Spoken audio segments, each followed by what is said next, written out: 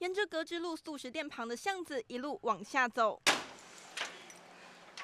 打开外头大门，最先看到的是一个人走还嫌窄的狭小走道，里头还飘着潮湿气味。这是文化大学袁同学的租屋处，三到四平的单人套房，没有对外窗，一个月房租要六千多元。因为我自己是打工，就是自己出房租，然后如果加上学贷的话，可能少一点点，可是还是算占满一大部分的。如果可以，就是跟学校的宿舍差不多钱的话，当然是更好。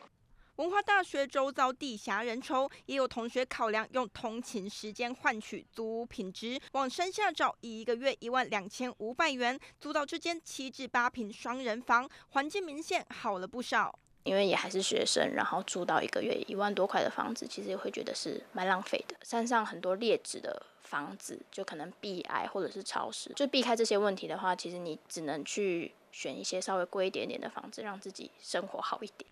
而分析全台大学房租行情，北部台湾大学一平一千七百一十元，文化大学一平一千两百七十九元，中部逢甲大学一平八百三十八元，南部成功大学一平八百零三元，南台科大一平七百四十二元，高雄科大一平七百七十四元，台大附近房租高居全台最贵，到中南部直接大砍一半。小市道有便宜一点点，啊，住的话比较明显的，就是租房子的话。房价比较便宜，然后电费也会比较便宜。租金的话是三千五，考量点就是当然是租金的问题啊，就是能便宜尽量便宜。中南部学生租金负担轻松不少，不过台湾学生也别太难过。来自欧美的台大交换生就认为自己的国家房租比台湾更吓人。The cheapest would be around eight thousand, yeah. So. I'd say it's quite similar. It's cheaper actually here compared to my my own home country actually.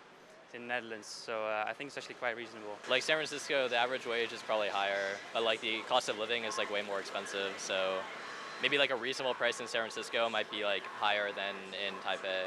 各地学生观感大不相同，但对于北漂来念书的学生，光是租金就占掉一半以上的生活费，住宿跟生活品质永远只能二选一。毕业后买房更是遥不可及，也难怪台湾青年学生对未来充满无奈与彷徨。混顺杨格前卫张元春台北台南报道。